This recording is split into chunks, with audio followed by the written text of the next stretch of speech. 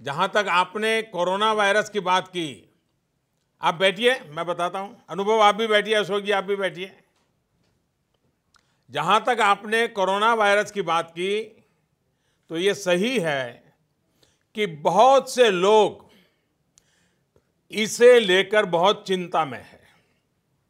मैं समझता हूँ, इसमें आपकी और हमारी, हम सबकी सतर्कता बहुत महत्वपूर्ण है।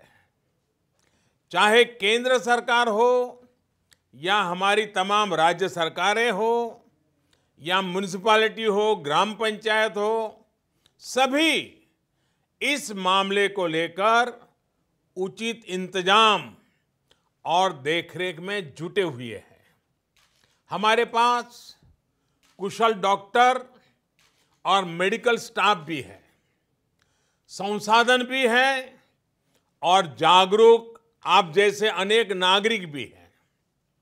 हमें बस अपनी सावधानियों में कोई कमी नहीं आनी देनी चाहिए। और ये भी समझ लेना चाहिए कि सावधानियाँ क्या है। बड़ी बड़ी बातें नहीं है जी। ये अलग अलग माध्यमों से आपको शायद पता भी चलता होगा। लेकिन हम सुनते हैं, एक कान से दूसरे कान से निकाल देते हैं। मैं फिर से एक बार, जब आपने मुझे पूछा है तो मौका ले लेता हूँ और आपके माध्यम से देश के सभी नागरिकों के लिए वो सारी बातें मैं दोहरा रहा हूँ। और मैं कहता हूँ कि आप भी याद रखिए और हर स्कूल में, कॉलेज में, सब जगह पे बताइए। देखिए, क्या करना है? एक तो हमें बिना ज़रूरत के कहीं इकट्ठा होने से बचना होगा।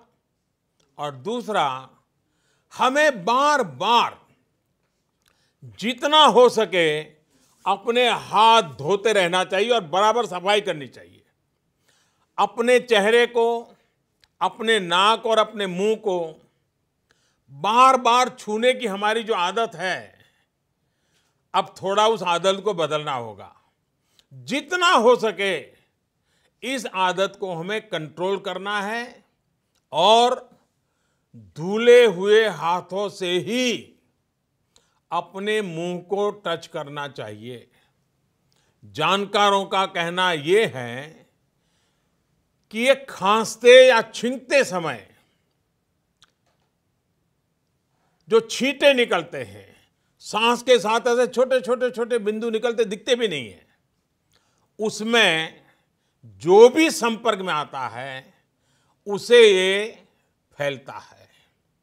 ऐसे में जिस भी चीज़ पर ये छींटे गिरते हैं, उसमें ये वायरस कई दिनों तक जीवित रह सकता है। इसलिए बार बार साबुन से हाथ धोना बहुत ज़रूरी है। एक और आदत हमें ज़रूर डालनी है। अगर खांसी और छींक हमें आती है तो कोशिश यही करनी है कि दूसरों पर इसके छींटे न पड़े और जो कपड़ा या रुमाल हमने छींकने के समय इस्तेमाल किया होता है, उसे भी दूसरों के संपर्क में न आने दें। साथियों जिन जिन लोगों को ये संक्रमण हुआ है, उनको तो ज़रूरी निगरानी में रखा ही जा रहा है, पूरे वॉच में रखा जाता है। लेकिन अगर किसी साथी को शक होता है कि वो किसी संक्रमित साथी के संपर्क में आया है तो उसको बहुत घबराने की ज़रूरत नहीं है। अपने मुँह को मास्क से ढक करके या किसी बड़े कपड़े से ढक करके सबसे पहला काम करना चाहिए, किसी न किसी नजदीकी अस्पताल में चेक करवा लीजिए। ये बहुत ज़रूरी है। परिवार में जो बाकी लोग होते हैं, उनको भी इन्फेक्शन होने की आशंका ज़्यादा होती है। ऐसे में उनको भी ज़रूरी टेस्ट करा लेने चाहिए। ऐसे साथियों को मास्क भी पहनने चाहिए, ग्लव्स भी पहनने चाहिए और दूसरों से कुछ दूरी बना करके रहना चाहिए। मास्क पहनना है या नहीं पहनना है, इसे लेकर जानकारों की अलग अलग राय है। लेकिन ध्यान यही रखना है कि खांसते या छींकते समय जो हवा निकलती है, उसके साथ जो छोटे छोटे बारीक ड्रॉप्स निकलते हैं, ड्रॉपलेट्स, वो दूसरों पर न जाएँ। वैसे, मास्क पहनते समय भी एक चीज़ ध्यान रखनी है। मास्क को एडजस्ट करते हमारा हाथ बार बार मुँह को छूता है। इससे बचाव की जगह इन्फेक्शन फैलने की आशंका बढ़ जाती है। साथियों, ऐसे समय में अफवाहें भी तेज़ी से फैलती हैं। कोई कहता है, ये नहीं खाना है, वो नहीं करना है, कुछ लोग चार नई चीज़ें लेकर के आ जाएँगे कि ये खाने से कोरोना वायरस से बचा जा सकता है, ढीकना करने से बचा जा सकता है।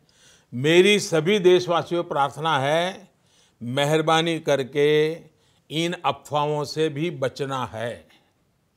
आपको कुछ भी लगता है, जो भी करें, अपने डॉक्टर की सलाह से ही करें। हम स्वयं डॉक्टर न बन जाए। और हाँ पूरी दुनिया आजकल नमस्ते की आदत डाल रही है। अगर किसी कारण से हमने ये आदत छोड़ दी है तो हम भी हाथ मिलाने के बजाय इस आदत को फिर से डालने का भी मैं समझता ये उत्तम समय है, नमस्ते करके ही एक दूसरे को ग्रीट करना चाहिए। तो मुझे विश्वास है कि छोटी छोटी बातें हैं। शायद डॉक्टर लोग भी आपको यही बताएँगे। आप भी सबको यही बताइए। डरावने डरने की ज़रूरत नहीं है, भय पैदा करने की ज़रूरत नहीं है, अफवाह फैलाने की ज़रूरत नहीं है। बस इतनी सी चिंता करनी है।